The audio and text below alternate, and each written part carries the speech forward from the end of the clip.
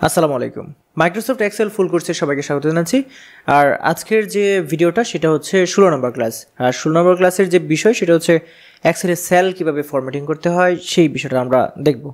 So চলুন আমরা দেখে নিই এক্সেলের সেল ফরম্যাটিং এক্সেলের সেল ফরম্যাটিংয়ে দুইটা জিনিস রয়েছে, সেটা হচ্ছে এখানে হোমের ভিতরে হোমের ভিতরে যে স্টাইল এবং সেলস এই দুইটাই হচ্ছে সেলস ফরম্যাটিংয়ের খুবই কাছাকাছি এবং সেগুলো কিন্তু খুবই কাজে লাগে। প্রথমেই আমরা এখানে দেখে নিই যেগুলো আমরা আগের ক্লাসেও দেখে নিয়েছি, যে এখানে হচ্ছে সেলসের মধ্যে কী আছে।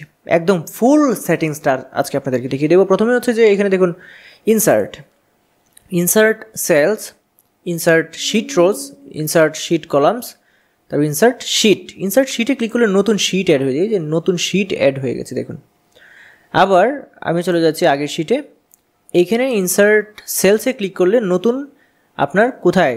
সেলস আপনি অ্যাড করতে পারবেন। যেমন এখানে আমি ক্লিক অবস্থায় আমার আছে। এখন যদি আমি ইনসার্টে ক্লিক করি, এখানে ইনসার্ট সেলসে ক্লিক করলে এখানে লেখা আছে শিফট সেলস ডাউন তাহলে ডাউনে কি হবে? একটা মানে ইয়া হবে সেল তৈরি হবে। তাহলে ওকে দিলাম।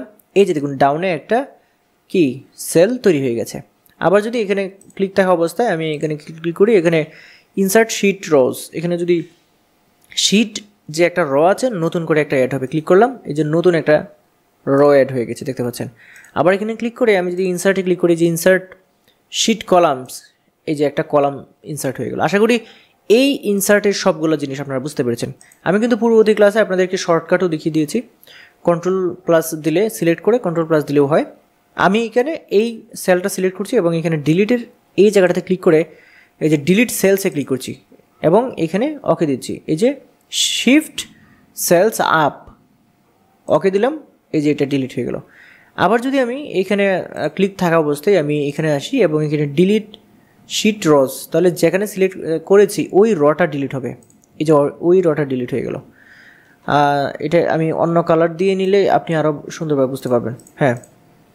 এই সেলটা সিলেক্ট করলাম ডিলিটের ক্লিক করে এখানে ডিলিট শিট রসে ক্লিক করলাম, এই যে মানে রটা ডিলিট হয়ে গেল। আবার এটাকে আমি আবার এখানে ক্লিক করছি, তারপর এখানে ক্লিক করে এই যে ডিলিট শিট কলামসে ক্লিক করছি এটা ডিলিট হয়ে গেল। আবার এখানে ক্লিক করে যে ডিলিট শিটসে ক্লিক করলে এই শিটটা সবটাই ডিলিট হয়ে যাবে। এই যে শিট সবটাই ডিলিট হয়ে যাবে।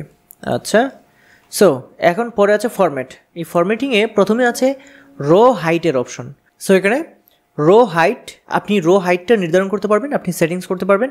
এখানে অটো ফিট করতে পারবেন রো হাইটটা কলাম ওয়াইড যেটা আছে প্রশস্ততা, সেটা আপনি আপনি নির্ধারণ করতে পারবেন। নিজে দিয়ে দিতে পারবেন, সেটা কিন্তু আমরা পূর্বের ক্লাসে দেখেছি। আবার এখানে অটো ফিটও আছে, তারপরে ডিফল্ট ওয়াইড তো আছে, সেটা আপনি দিতে পারবেন। আবার ভিজিবিলিটিতে রো আপনি র হাইট কীভাবে করবেন শো কীভাবে করবেন শিট হাইট কীভাবে করবেন শিট মানে আপনি আনহাইট কীভাবে করবেন, সেগুলোও এখানে আছে, এই যে দেখতে পাচ্ছেন এখানে দেওয়া আছে। আবার এখানে রিনেম শিট এই যে নিচে শিটগুলোর নাম আছে, সেগুলো রিনেম এখানে ক্লিক করলে এই যে এখান থেকে রিনেম করতে পারবেন, ষোলো, এই যে ষোলো, এভাবে আপনি অন্য ইয়ে দিতে পারবেন। তারপর এখানে ফরম্যাটে আপনার মুভ ওর কপি শিট এই যে শিটটা আছে, এটা আপনি মুভ করতে পারবেন ওটা কপি করতে পারবেন ক্লিক করলেই এই যে অপশন চলে আসবে, এখানে ক্রিয়েট এ কপিতে ক্লিক করে আপনি অকেতে দিলেন, এই যে দেখুন আরেক আরেকটা তৈরি হয়ে গেছে, আরেকটা তৈরি হয়ে গেছে। এইভাবে আপনি কপি করতে পারবেন, আবার ফরম্যাটিংয়ে এসে আপনি ট্যাবের কালার চেঞ্জ করতে পারবেন। যেমন এখানে আমি যদি এই লাল কালারটা দিয়ে দিই, এই যে এখানে ক্লিক করলাম, বাইরে ক্লিক করলাম, এই যে ট্যাবের কালারটা লাল হয়ে গেল। এইভাবে কিন্তু আপনি কি করতে পারবেন এই এই অপশানগুলো দেখে নিতে পারবেন। সো আমরা ছিলাম হচ্ছে এইটাতে ষোলো নাম্বার ক্লাসে আর এইখানে আমরা ফরম্যাটিংটা দেখে নিলাম সেলসের সমস্ত জিনিস দেখে নিলাম প্রোটেক্ট শিট এবং লক সেল এটা আমরা পরবর্তীতে দেখব। তারপর এখানে আছে হচ্ছে এই যে স্টাইলস এই স্টাইলসের এই আইকনটা দেখুন, আমরা ফর কন্ডিশনার ফরম্যাটিং আর ফরম্যাটেড টেবিল এই জিনিসগুলো আমরা পরবর্তীতে দেখব ক্লাস আছে আলাদা। আর এখান থেকে এই যে দেখুন, এই স্টাইলসগুলো আমরা দেখে নেব। এখানে যদি আমরা ক্লিক করি, তাহলে সমস্ত স্টাইলগুলো আছে। এটাতে ক্লিক করলে এরকম, যেমন এখানে আমি প্রথমে ক্লিক করে নিচ্ছি ক্লিক করে নিচ্ছি, এই যে দেখুন এইটা এরকম, এটা এরকম। মানে এই যে স্টাইলগুলো কিন্তু আপনারা একটা একটা করে এক্সপ্লোর করবেন যে কোন স্টাইলটা আসলে কীরকম। তারপর আমরা যেটা করব, এখানে মার্জ স্টাইলও আছে নিউ স্টাইলও অ্যাড করা যায়। আরেকটা বিষয় হচ্ছে যে heading one heading two heading three heading four এটা আপাতত আপনি বুঝবেন না। টাইটেল টোটাল এগুলো আপাতত বুঝবেন না।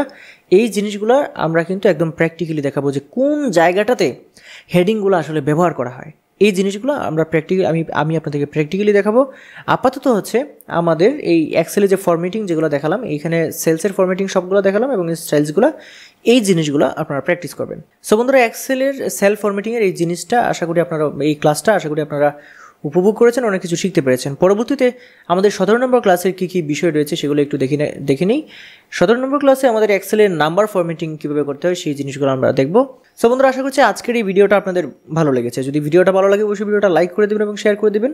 আর হ্যাঁ আপনি যদি আমার চ্যানেলে নতুন হয়ে থাকেন, তাহলে চ্যানেলটি সাবস্ক্রাইব করে রাখবেন। আজকে ভিডিও এ পর্যন্তই।